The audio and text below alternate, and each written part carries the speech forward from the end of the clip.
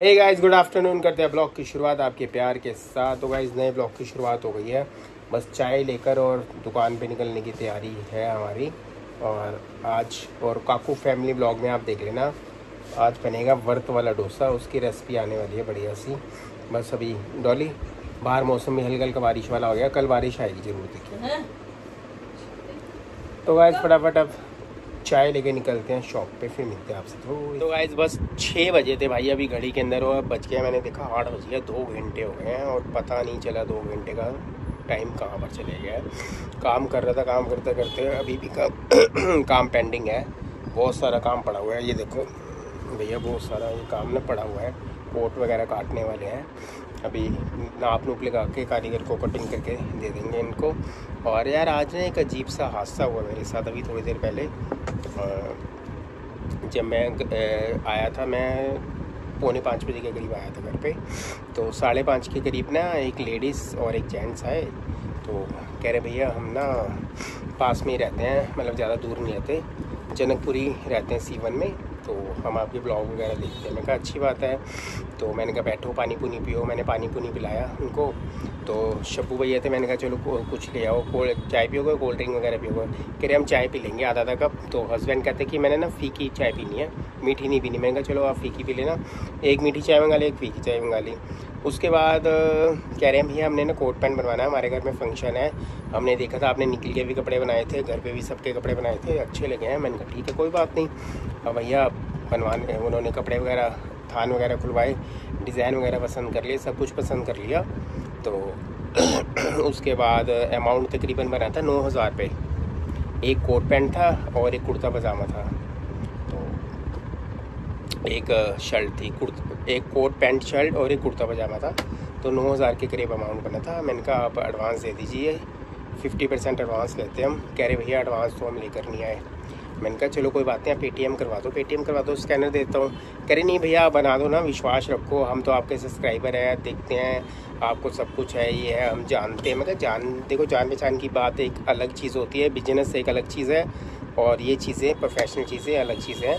मैंने कहा, आप जब तक आप एडवांस दोगे नहीं तो मैं सॉरी काम स्टार्ट नहीं कर सकता। कह रहे, भैया, आपको विश्वास नहीं है हमारे ऊपर, हम इतनी दूर से चल कर आए हैं, मिलने आए हैं। मैंने कहा, आप मिलने आए हो? मैंने आपकी खातिरदारी की, सब कुछ किया, मगर इसका ये मतलब थोड़ी ना कि अगर देखो बिज़नेस है, बिना एडवांस लिए हम किसी का, कोई भी सामान, क्योंकि पहले काफ़ी ठोकरें खाई हैं। भाई, मेरे पास सिस्टम मेरा भी कम से कम भी सत्तर अस्सी हज़ार रुपये फंसा हुआ है, काफ़ी टाइम का। और एक बार एडवांस वगैरह भी लिए, बिना फेथ से बना दिया था। अब दो तीन कस्टमर हैं, अभी तक कपड़े लेके नहीं गए, बीच में कोई ऐसी ऐसी प्रॉब्लम आती हैं। तो मैंने कहा, मैम, बिना एडवांस के मैं बनाता नहीं हूँ। अगर नौ हज़ार रुपये हैं तो कम से कम आप चार, साढ़े चार हज़ार रुपये पेमेंट दोगे तो आपके कपड़े स्टार्ट होंगे। अदरवाइज़ नहीं होंगे। कह रहे, नहीं, हम तो बड़ा वो करके आए थे, ऐसे करके आए थे। मैंने कहा, आप चलो साढ़े चार नहीं दे रहे, कम से कम दो, ढाई हज़ार पे तो दो ना एडवांस उसके बाद कपड़े आपके स्टार्ट होंगे। कह रही, नहीं भैया, आप बना दो, हम उठा लेंगे। हमें, हमारे घर में शादी है नवंबर में, पाँच नवंबर की शादी है। मैंने कहा, भैया, वो आपकी बात सही है, सारी चीज़ें जब तक आप एडवांस नहीं दोगे। तो गाइज़ वैसे आप एक बात बताओ, बिना एडवांस के कौन बनाएगा? अगर आप किसी को ऑर्डर देने जा रहे हो, दस हज़ार का ऑर्डर दे रहे हो, अगर हम भी है, अगर मैं डॉली का लहंगा या कोई भी चीज़ बनवाने जाऊँगा, किसी भी शॉप पर जाऊँगा, अगर दस हज़ार की चीज़ है, कम से कम तीन, चार, पाँच हज़ार रुपये तो एडवांस दूँगा ना उसको, ताकि वो अपना काम स्टार्ट कर सके। तो कैसे बिज़नेस अलग होता है, ये चीज़ें अलग होती हैं। यार, इन चीज़ों को अलग रखा करो बिज़नेस को अलग रखा करो, ठीक है नारियल को बड़े तरीके से तोड़ते हैं, बिल्कुल साबुत नारियल निकाल देंगे भाई साहब अभी। ये नारियल ही नारियल बेचते हैं। और जी, क्या हाल चाल है सरदार जी? वधिया वधिया भाजी, ठीक है? हाँ हाँ भाई ये ना पूरा यहाँ से निकाल दीजिए नारियल एकदम। ये तरीका कितना, कितने साल हो गए आपको नारियल बेचते बेचते हैं? नारियल बेचते कितने साल हो गए? नारियल बेचते कई साल हो गए। कई साल हो गए। तो भाई बिल्कुल साबुत नारियल निकाल दिया भाई इसके अंदर पानी है। पानी है इसके अंदर साबुत नारियल निकाल दिया। बाहर गया था नारियल लेकर आया था और इतना बड़ा नारियल लिया है चटनी बनाने के लिए। डोसा बनेगा साबुदाने और स्वान के चावल का वर्त वाला डोसा बनेगा। अब घर जाके बनाएँगे। बस घर पे निकलने की तैयारी हो रही है। और बस मिलते भी थोड़ी सी काकू आया मेरे पास और साथ था। ये मेरे से तैयारी ओए हाँ तेरे को पता है मैंने वो डांस वाले बुक कर दिए कब आएँगे जो अगले- करने? मतलब आएँगे ऑलमोस्ट अगले महीने के अराउंड आएँगे। इधर आएँगे हमारे सबके लिए और कंचन मासी के घर जाएँगे। पहले से ही सिखा देंगे ये सब? सब। वो प्रॉपर डांस सिखा के जाएँगे। वो यहाँ पे ना रजौरी कोरियोग्राफर कोरियोग्राफर है रजौरी कुछ है ए प्लस स्टूडियो कुछ करके है वो उनको मैंने बुक करे वो आएँगे। और बहुत बहुत अच्छा डांस सिखा के जाएँगे अक्टूबर से? डन डांस करके नवंबर? मतलब नवंबर एंड में। नवंबर के एंड में तो मेरे हुए तो तो थोड़ा सा एक घंटा आके नाच ले एक घंटा ही तो आएँगे। हाँ। जो कोई नर गावे जो कोई मंदिर में पूजा हो चुकी है आरती हो चुकी है। बस अब भोग लगाने की तैयारी है और उसके बाद हमारे जाने की तैयारी है फटाफट निकलने की तैयारी है। पीटीएम में जा रहे हैं। आज है काकू की पीटीएम सार्थक में और काकू जा रहे हैं। डॉली जी नहीं जा रहे। नहीं जा रहे ना? नहीं मैं नहीं जा रही मेरे को तो पीछे पीछे पीछे पीछे भागती भागती आ जा। हाँ बिल्कुल। Hello guys hello guys good morning बोलो पहले गाइस को हमारे। गुड मॉर्निंग तो गाइज़ आप भी आरती ले लीजिए जय माता दी। जयकारा शेरवाली का बोल साचे दरबार की। मंदिर में पूजा हो चुकी है। भोग लगाने की तैयारी कर रहे हैं। बस उसके बाद पीटीएम में निकलने की तैयारी कर रहे हैं। काकू तैयार हो रहा है सार्थक भी तैयार हो रहा है। काकू मैं सार्थक तीनों जने आ रहे हैं पीटीएम में।